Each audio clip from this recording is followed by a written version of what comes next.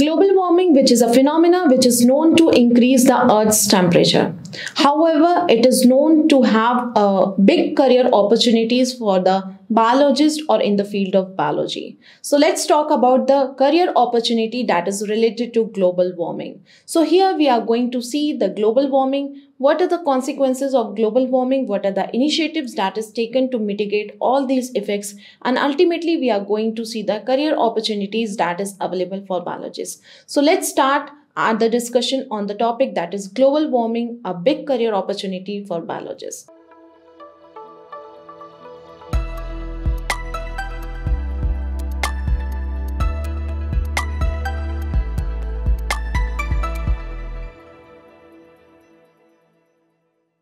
So firstly, we are going to understand global warming and climate change.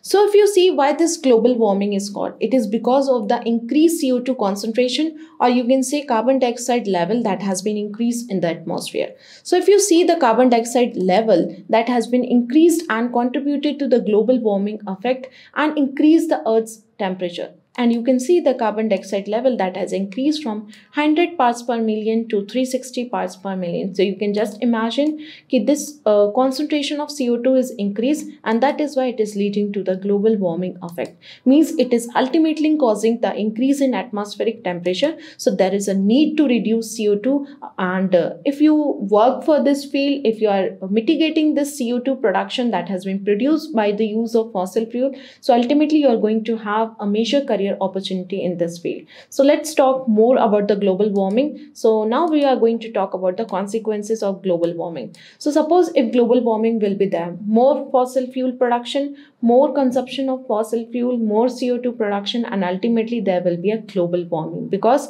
CO2 produced will be more. Yes, we have seen that the concentration or the level of CO2 will increase in the atmosphere, right? So it will continue uh, continuously leading to the hotter temperature means the temperature of the earth will rise and there will be a hot temperature. There will be a rise in sea level because there will be melting of glaciers. There will be a chances of you can say occurrence of droughts and floods and also you can expect uh, tropical cyclones and ultimately there will be a heat waves. There will be a generation of frequent heat waves that is ultimately leading to the hotter temperature of the earth. So soon we have to mitigate all these things because if all these temperatures begin to rise, ultimately there will be a hot temperature of the earth and ultimately all the sea level will rise due to the melting of glaciers. So there will be some kind of initiative to mitigate all this CO2 production. Now, what are the initiatives that can be taken or is taken to, uh, you can say, mitigate or reduce CO2 production? So you can see carbon mitigation initiative that is taken uh, in US, that is taken by the Princeton University, that is a US based university. So again, they're working to, you can say, mitigate all this carbon dioxide effect and how they're working for this, you can just see that is working or you can say this initiative has been worked or developed to uh, identify the most credible methods of capturing and sequestering a large fraction of carbon emissions from fossil fuels. So what generally happens whenever you can say any fossil fuel consumption will be there. So there will be a uh, you can say production of carbon dioxide. So carbon dioxide level will rise. So this initiative is being taken by the princeton university that is in us and what they are using uh, this know, initiative. So as to sequester all the carbon dioxide that has been released in the atmosphere. So you can just imagine if carbon dioxide that has been produced by the consumption of fossil fuel if all those carbon dioxide will be sequestered. So what will happen? Ultimately there will be a low level of carbon dioxide in the atmosphere right? So this initiative has been taken up. So us is uh, now working for this. And also there will be a, a need of you can say innovation and technologies. So that recent technology should be developed that is going to mitigate the carbon dioxide effect. And now scientists have started working to engineer the microorganism. As you know in oceans phytoplanktons will be there cyanobacteria will be there. So all these microorganisms are now being engineered by the you can say scientists and why they are engineering. So as to increase the metabolic rate of all these uh, you can say microorganisms and so as to uh, sequester all the carbon dioxide that is present in the atmosphere. So this is one of the good way that is taken uh, you can say taken this initiative is taken by the scientists where they are working to engineer the microorganisms. And ultimately they are going to limit the microbial growth media. Means ultimately if all these microorganisms are cultured so in that particularly you can say pool in that pool there will be a limiting growth media. And if media will have limited nutrients so ultimately the you can say the microbial growth rate will increase and ultimately they are going to sequester the carbon dioxide from the atmosphere. Because no uh, nutrients will be there in media so they are going to hire and take all the nutrients that is available in the atmosphere and that is available in the form of carbon dioxide. So this is one of the initiatives that have been developed and is taken care by the scientists. So they are currently working and taken an initiative to work for the genetic engineering of microorganism. Also there is a alternative energy technologies that that is being taken place. And all these initiatives are taken place. That is what called as fuel cells development of solar panels nuclear fusion and etc that is there to mitigate the carbon dioxide level that is produced by the consumption of fossil fuel. Now if you want to work in this field now what are the career opportunities or position that you can have in this field? So as we have uh, seen that global warming it is increasing day by day. This is a phenomena that is causing the increase in the temperature of the earth so surely there will be a position right to work for this and to mitigate all these effects. Yes. So there is a position called as environmental scientist. So if you have done your msc or bsc in environment you can work for this field. So what actually happens in the environmental scientist as we have talked about initiative we have talked about genetic engineering. So all these work will be taken care by environmental scientists. And to assist all these scientists there will be a need of researchers. So you can work in any of the laboratory who is dealing with all these things who is dealing with climate change uh, plans and all these global warming initiatives. So you can go in that lab and work as a researcher. Also, you can work as an environmental engineer who actually designs a new technology building so that there will be a low carbon dioxide emission. So all this engineering part will be done by environmental engineering.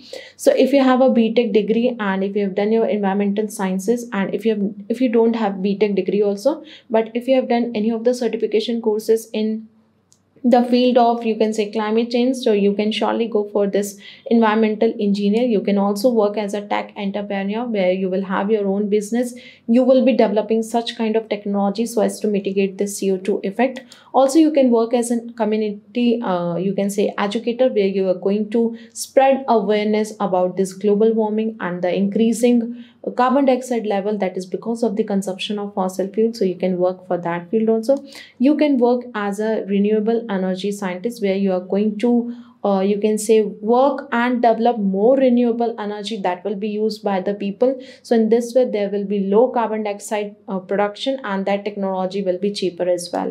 Also you can work for the conservation scientist that is going to you can say mitigate the forest fire so ultimately all these things will be taken care by conservation scientists that is working for the conservation of nature and natural resources. And ultimately if you see nature will be conserved means there will be no forest fires no fires will be there, there. So no CO2 production and conservation of natural resources. If all the natural resources will be conserved, no consumption of fossil fuel will be not that much. So ultimately it is going to reduce the CO2 level in the atmosphere.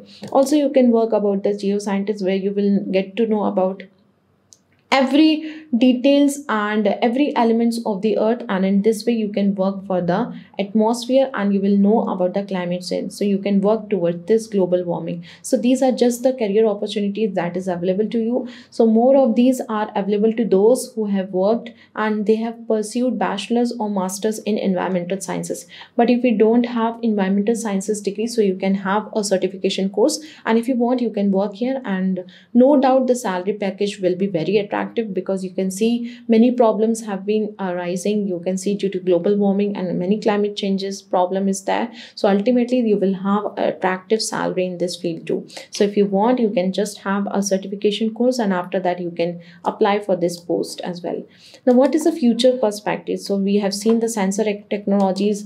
Now this has been developed and still it is in you can say uh, under development means all sensor technologies will be there in the car that will uh, you can say that will uh, going to read all of the CO2 consumption level that is being done by that car specifically. So in this way, we'll get to know ki who is more consuming that or you can say fossil fuels and ultimately more production of CO2 is there in the environment. And also global carbon mitigation program has been developed in many of the countries as we have discussed for US that is Princeton University. So here I've mentioned the list. You can see this complete list here and if you see the complete list all these countries are working for this carbon mitigation but the program name is different here. You can see norway that is it's not visible here sorry. So i will just read it. You can just uh, listen all these things and you will get to know how many uh, initiatives have been taken by the country and how they are working to mitigate all this carbon dioxide level. So norway that program is called as climatech